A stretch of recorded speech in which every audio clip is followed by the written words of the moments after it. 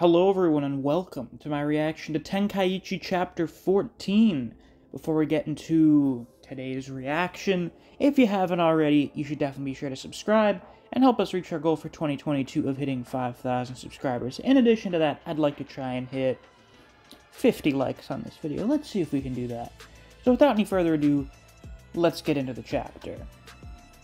So let's see here. The chapter is titled The Barbarian Beast versus the Peerless Swordsman. I see. We're now we're we're already starting off with a very good angle for William.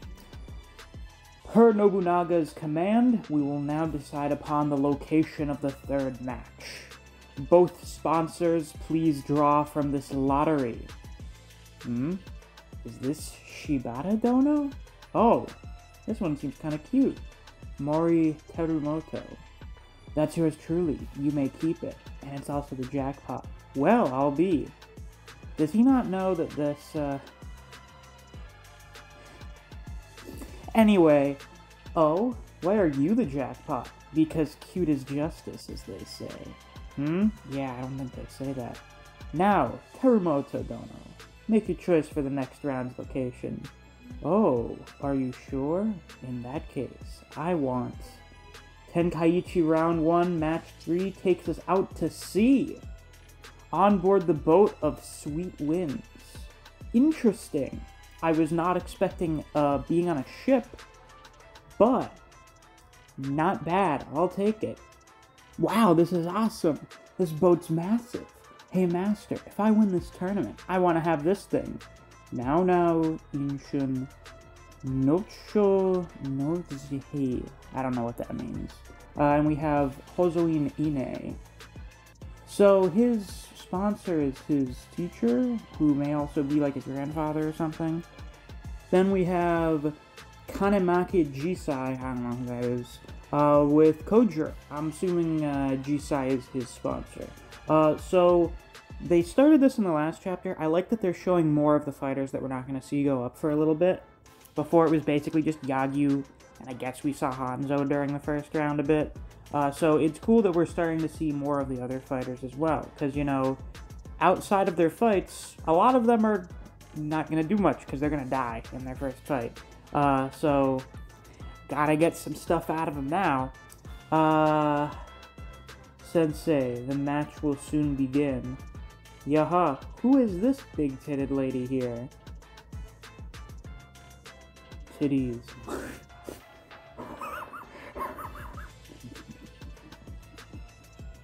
what? What? Must suck. Mm. Kamizumi no Kami. Are you fucking serious?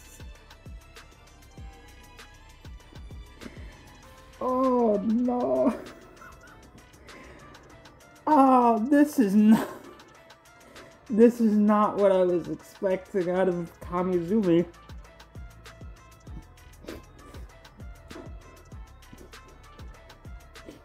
I mean, I can't blame him, but...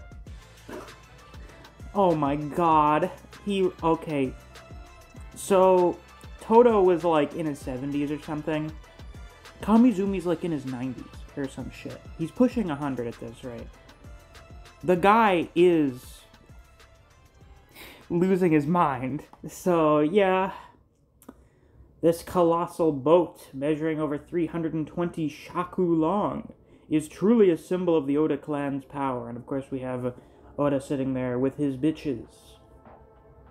Begin now. I spent the whole night making sure it was ready to launch on time. I'm simply superb.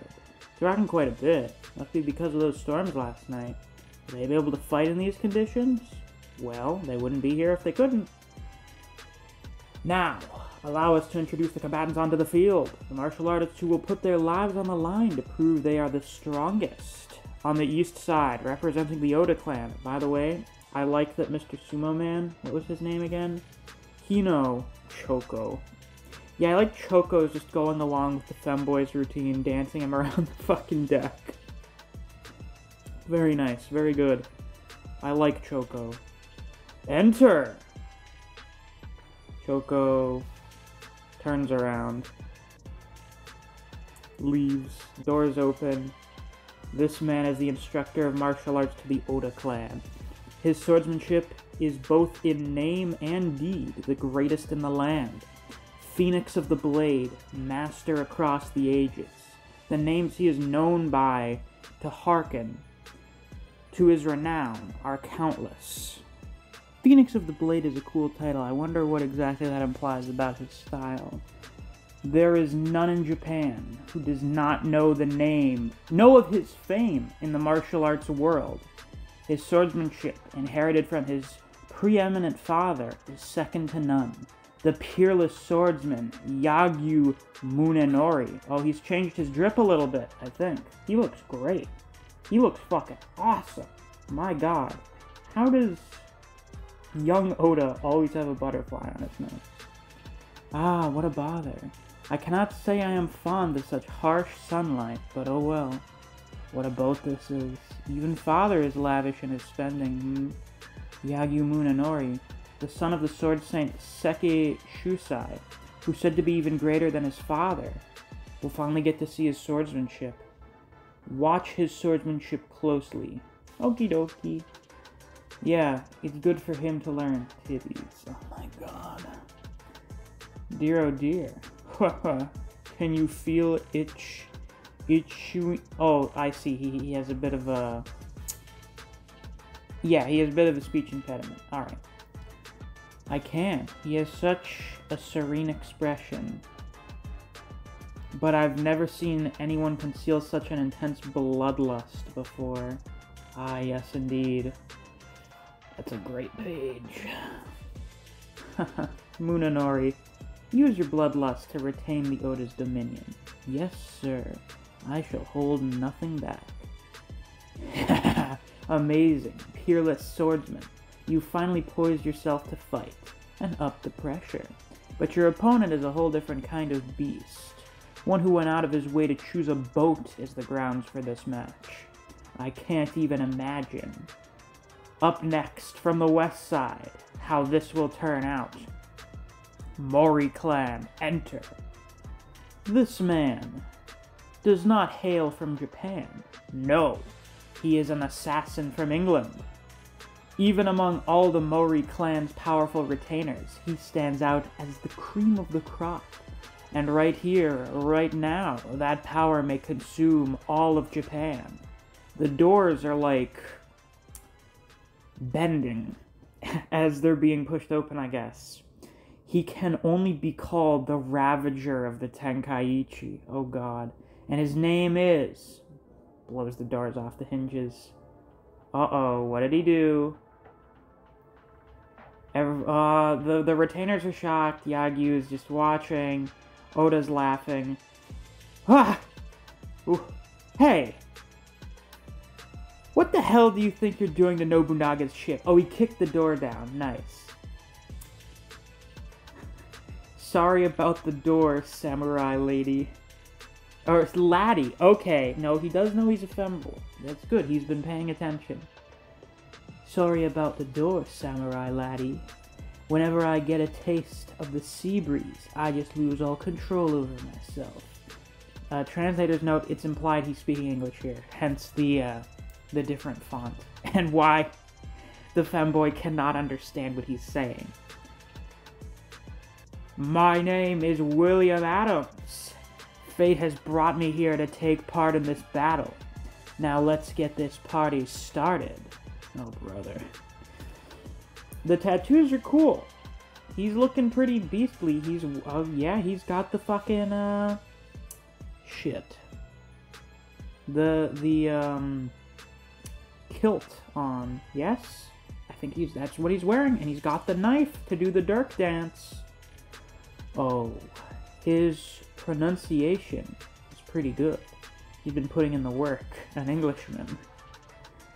It isn't every day that we get to see a fight with a foreigner, William Adams. Aside from the fact that he arrived in Japan recently, there's nothing known about him. So just what sort of fighting style will he use? He's gonna dance around with a knife, that's what he's going to use. He's standing with his median, median, perfectly straight. He seems to have excellent control over his body. Hmm. When I saw the announcement of the matchups, I thought Mori and some I thought Mori and some strange scheme in mind. I think they're missing a word there. Mori had. Oh wait, no. Yeah, yeah. I'm skipping the word. I thought Mori had some strange scheme in mind, but it seems he's not simply going out of his way to be eccentric. William, that softer looking man is Yagyu. Aye, I figured as much, Mori Moridono. Haha. You've truly got the face of a lass, eh? Hmm? Let's shake on our honor, Master Yagyu. I hear that you're the most distinguished swordsman in Japan. I am fortunate, nothing more. And you ought to refrain from sticking your hand in my striking range. Ha! Graceful elegance paired with cold killing intent. A shining symbol of all samurai. So hot. Oh. So this is what everyone was warning me about. I see. Hot? I'm truly blessed. Not only to happen across this land through the storm, but to have a chance to ravage its very symbol. Master Yagyu.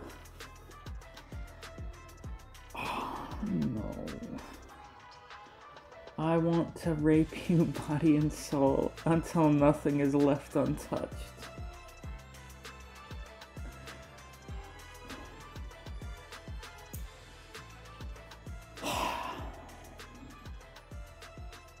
we really do have a very interesting villain setup for this round. I think this round is setting up a villain in this bracket, and we're going to see which one of them that is.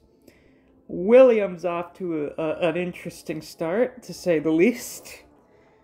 Um, yeah, I think I'm actually now rooting for Yagyu this time around. Oh, a foreign dagger. Rape? Did he just say he'll rape Yagyu Dono? Rape this country? Ah, truly impeccable English representation. Titties. Yes, indeed. I mean, I can't lie, Kamizumi. This, uh, more, uh, reserved-looking chick here does have nice titties. That's true. Hmm. Even I wasn't expecting that. Uh, but once I learned about Adams, I knew there was no other fighter I could back. Soon enough, everyone on board this ship will see for themselves exactly why. Because he's a fucking monster, obviously. Ha! Just like a demon come to terrorize Japan. Then I, in turn, shall drive you out of these lands. Yeah, yeah, we're do- oh god. I know people were worried about there being like a, oh, the evil foreigner. Yagyu is literally going, ah, I will protect Japan from the evil foreigner. And that's our cue. We've got the arena all fired up now. Yagyu Munenori representing the Oda clan. William Adams representing the Mori clan. Begin. Ooh boy. Ooh boy. Yeah, um... I agree with the people that say it'll be a huge shock if William wins. Like, like if William wins, yeah, actually, there are no predetermined winners, but, you know, I imagine Yagyu is very strong. So we're going to see what the deal is with Adams. The moment the signal to begin was given, Adams' body leapt high into the air. Interesting. Now then, Master Yagyu, care for a dance? And now he's dancing around Yagyu. By the way, he has one arm behind his back, so he's pretty much only fighting one-handed. He jumped? No, this isn't jumping. This is... and so it begins. The Dirk Dance. I see. Interesting. This is a really nice spread. I really like this. We're off to a really good start with this fight. Is this his fighting style? So it's based on some sort of dance, and nothing at all like a Japanese one. The rhythm is difficult to follow, I will not be strung along with such deceiving moves. All I need is to determine when he is about to strike. I imagine that's where most of the problem is gonna come in, Yagyu. You won't be able to tell. Well, yeah, Chad. Seems he's waiting for something. Huh? You mean Yagyu? Womp womp, gish again. Ah, fuck, I got...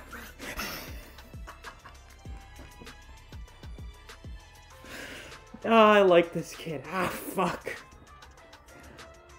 Watch your profanity. It's Adam Choose waiting. But just what for? Ooh? You notice something? There. A wave. I can't keep my balance. Adams is behind left. I uh, yes, so Adams was waiting for the boat to get rocked. And you can see here, he really doesn't give a shit about that. He's doing very well. A kick to the face. Now that's a surprise. Ah, yes, all your attention is on the knife. You wouldn't expect a kick. So that's what he's doing here. He's going in for a kick. He's spinning around for that. Fascinating.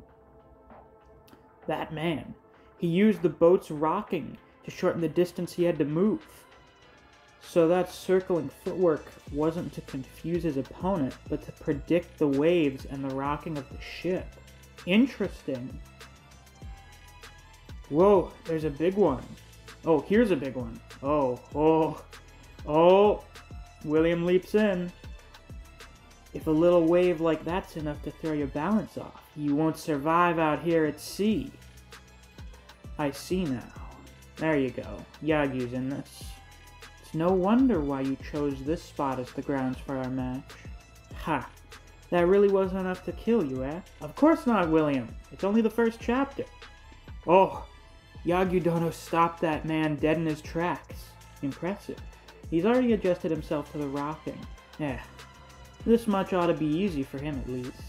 Not that I wanted you to die there. All this was just the opening act. Okay, cool. Oh, now comes the Dirk dance. it relieves me to hear that. A mere party trick like this would hardly ever be enough to satisfy me. Hmm.